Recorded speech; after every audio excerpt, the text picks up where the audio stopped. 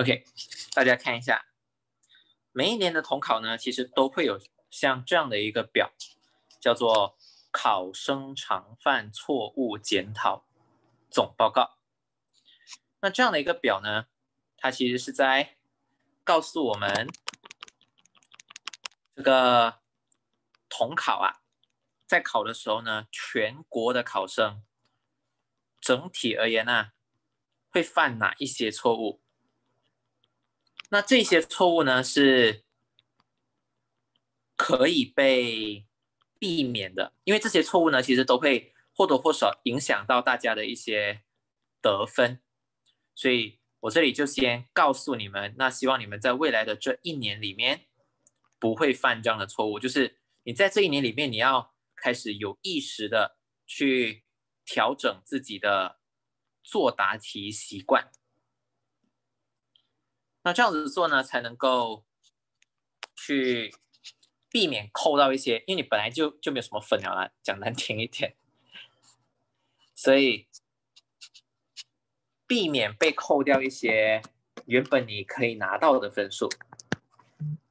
OK，首先他这里举的例子就是，他他有综合来讲啊，这是整体而言的啊，有几个重点，第一个。解答时必须交代清楚。他这里有做了四个错误示范。第一个错在哪里呢？没有按规范写公式。塞西达等于四分之三是什么来的？这个只是一个数学式子，它是一个不含物理意义的数学解答，所以这个在统考里面不被接受。第二。到底错在哪里？我们很长也会这样写嘛，对不对？知道第二个错在哪里吗？为什么会被扣分？你们还记得高一第一堂课我就跟你讲过，计算题有一个六部曲，对不对？First step 先写公式，Second step 做代入、计算、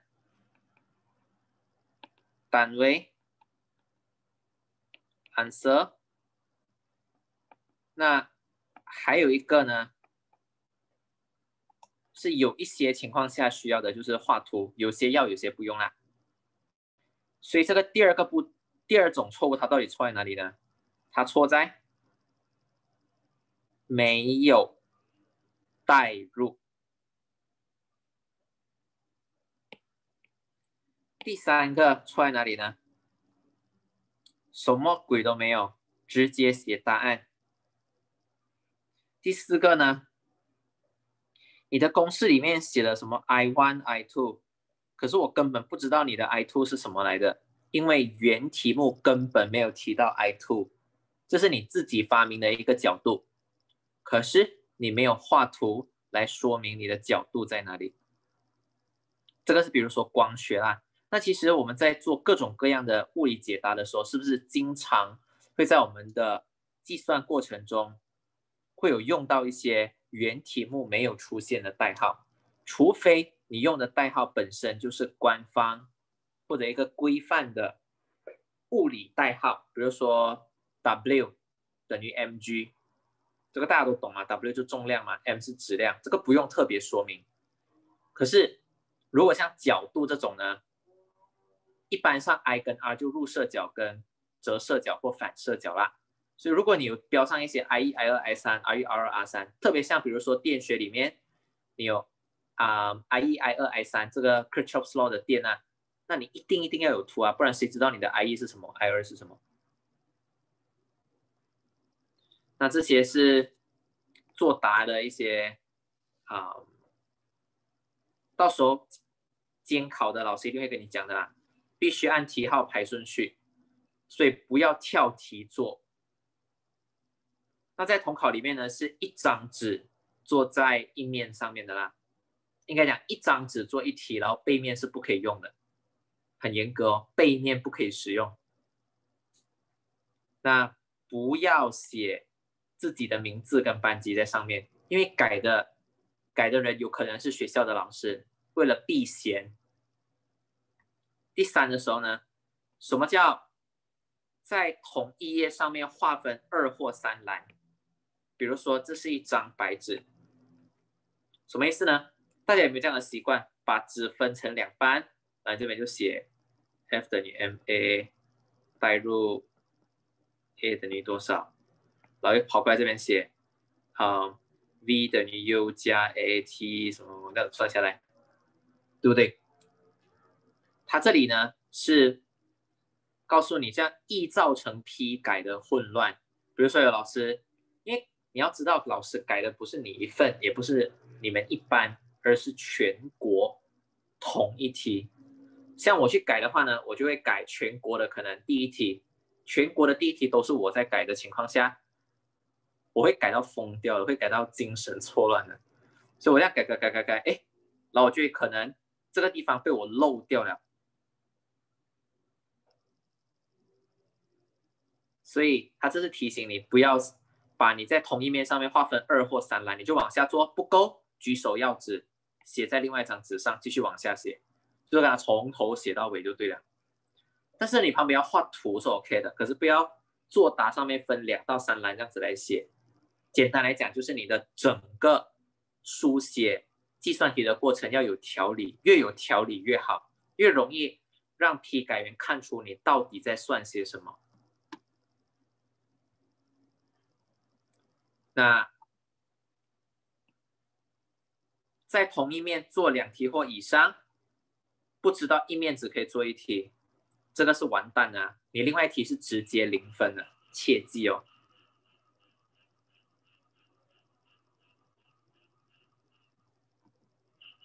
OK，第五点，这个呢，可能大家单纯看它的。叙述的话呢，你可能会有一个误解。考生经常在计算的中间过程中没有写单位或写错单位。这个呢，它指的并不是，比如说合力等于 ma，我要找加速度，啊，这个我带五牛顿，这个我带三 kg，a。然后 a 等于三分之五 ms 负二，不是这个意思。它的意思呢？它的意思呢是指怎么讲？意思合力等于 ma，你这个还是可以带五，这个还是可以带三 a，这就五分之三。然后你再用 v 等于 u 加 at，比如说 v 是。啊，二，u 是负一，你要找的是 t，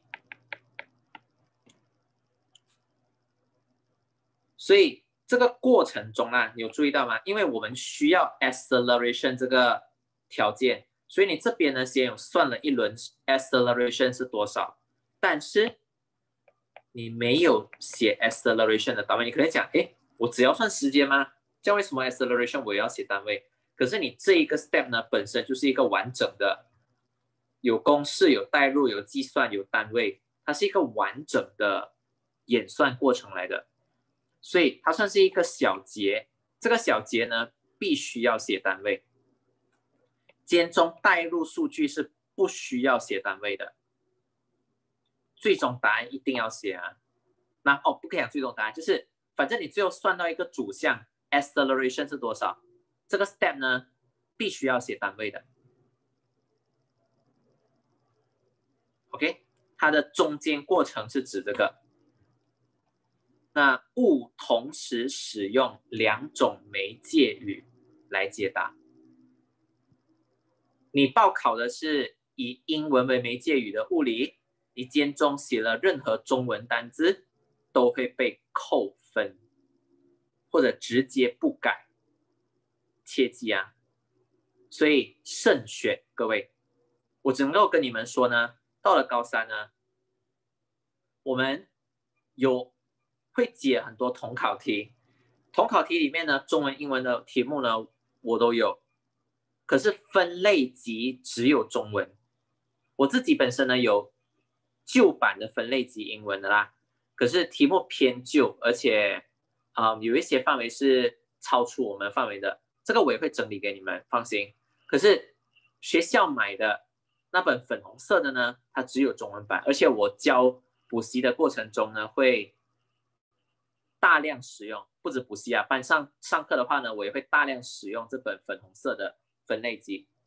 另一方面呢，校内的所有考试，不管是统测、大考、毕业考。通通是英文为媒介语，所以全部是以英文为媒介语来考啊，这点请大家务必注意。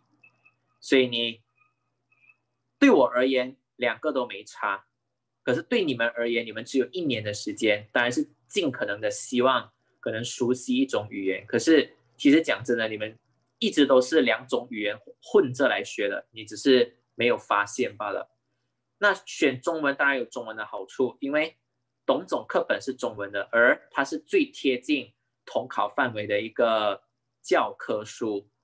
可是英文当然也有英文的好处，毕竟我们连着学三年的英文版物理，所以肯定英文的物理呢，一定程度上的你也是蛮熟悉的，所以。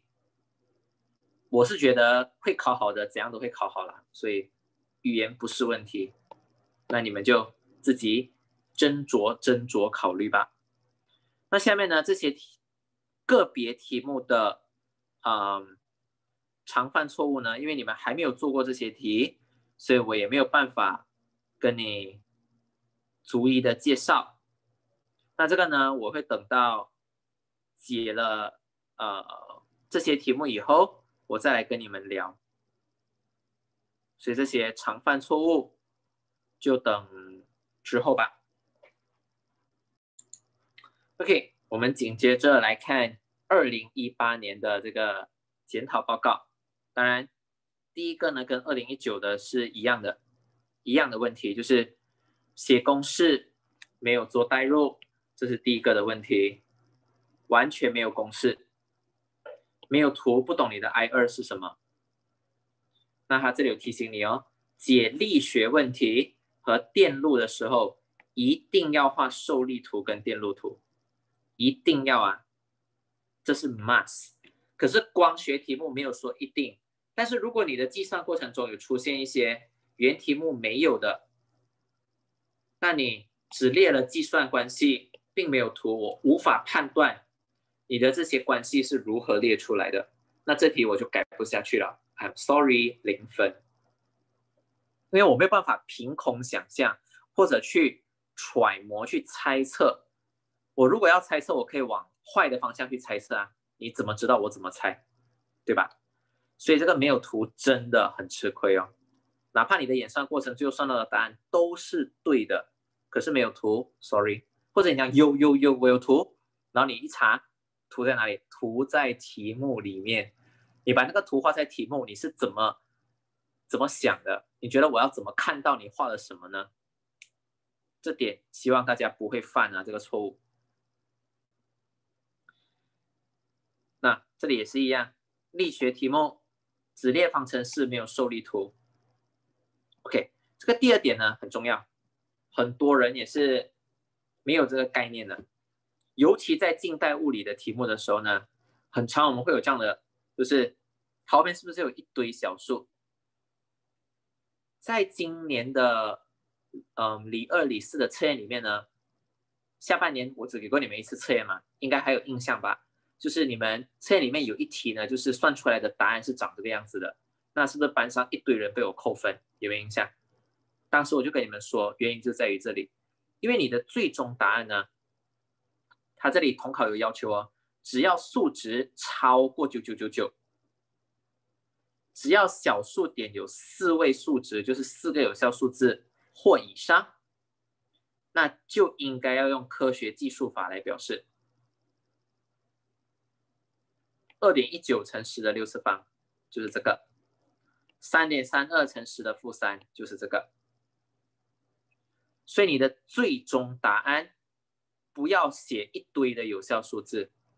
那如果你你你的计算过程呢？下一个 step，你有用到 v 这个条件，你在做代入的话，比如说你在算动能，等于二分之一 mv 平方，可这是三公斤，你这个 v 啦，你觉得应该带 raw data 还是你科学技术法里面写的？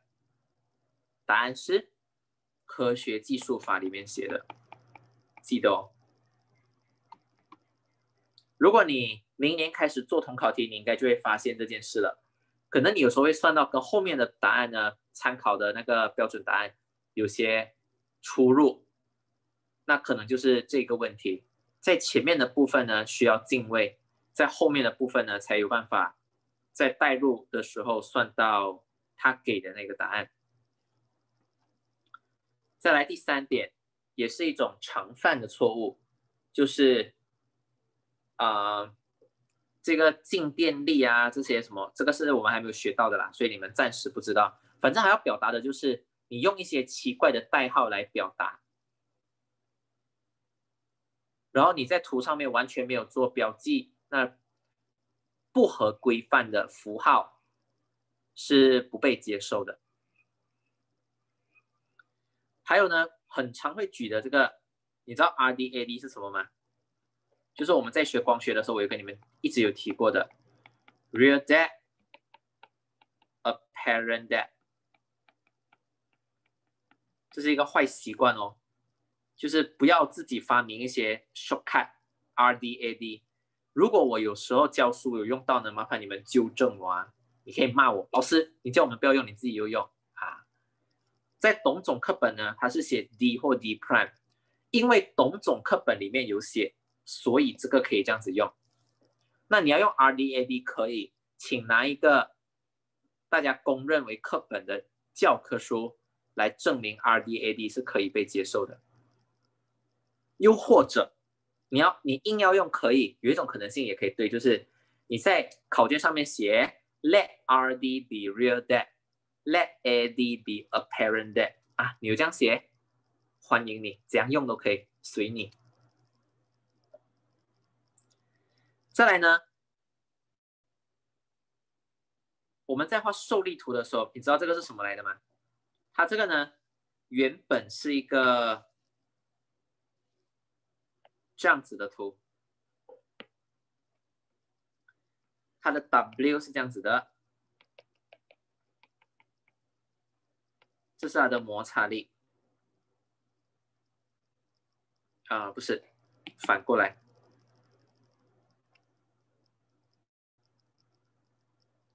哎我也看不出来它的摩擦力向哪里。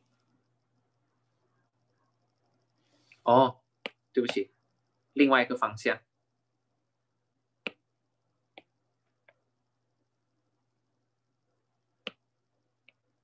重力、摩擦力，这就所谓的 F_R（Normal Reaction Force）。这里是西达，这里是 W。cos 西塔，W sin 西塔，OK，这个是我们画的受力图嘛？这个受力图是对的，可是呢，莫名的就有人哦，他会觉得啦，哎呦，这个受力图哦，这样看我会乱，还是我不懂有没有人这样子教他？应该不会啦，我们学校老师不会这样子教，然后我也从来没有这样教过你啊。OK，就这样，让他干嘛呢？我看下可以做吗？哎，好像不行。我要尝试可不可以 rotate？你们懂我在做什么吗？就是，哎，不可以 rotate 的咩？哎呀，算了吧。反正呢，他现在我就把这整个图啦，逆时针方向转，转成这个 pattern。因为他讲哦，我那个 W 分解了以后啊，它沿着斜坡很难看，他就硬是要把 W cos 西塔和 W sin 西塔移成在水平方向的。你们看得懂这个图在画什么了吗？就是把我刚才那个斜坡受力图，它去旋转它。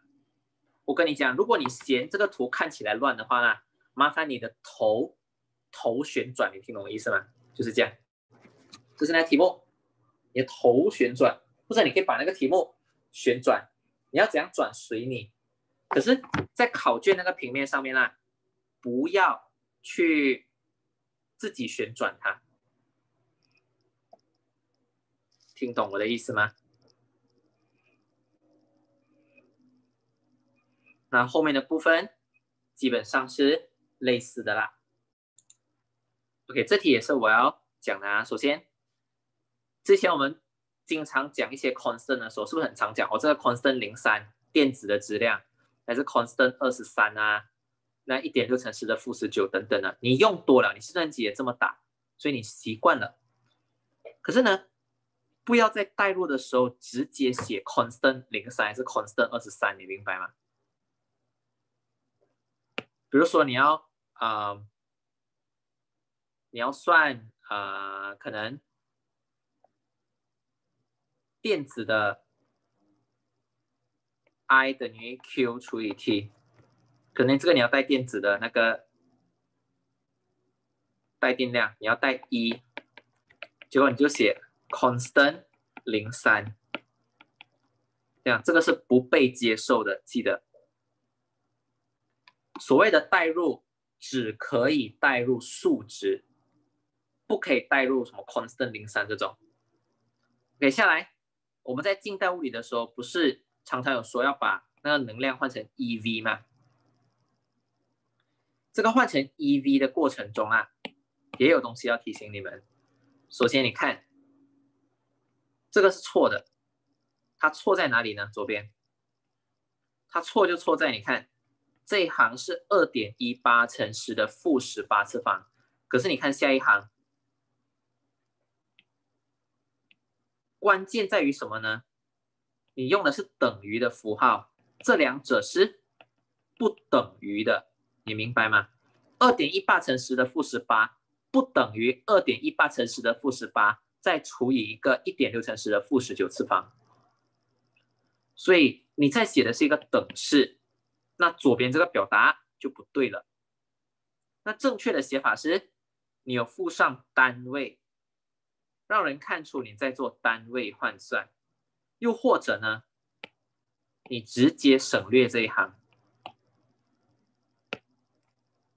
你可以不写的，没有人说那个 step 是必要的。可是，如果你写了，它本身是一个违背数学观念的，就是上下不是一个等式的这种情况下呢，就会被扣分，明白吗？OK，这个电学的题目呢，我们最近刚好有在学，也顺便提醒你们一下。你看，你应用这个基尔霍夫定则，就是 Kirchhoff's law 啦。没有附上电路图，特别是二零一八年的考题呢是没有注明 R one R two R three I one I two I three，所以你算了一堆答案都对，可是你根本就没有图，没有图是很可怕的一件事情。明天的课呢，我会告诉你们那个图啊，还有它的那些电流啊等等的，我们是怎么样算分的。就是老师是怎么样计分呢？来让你们明白。OK。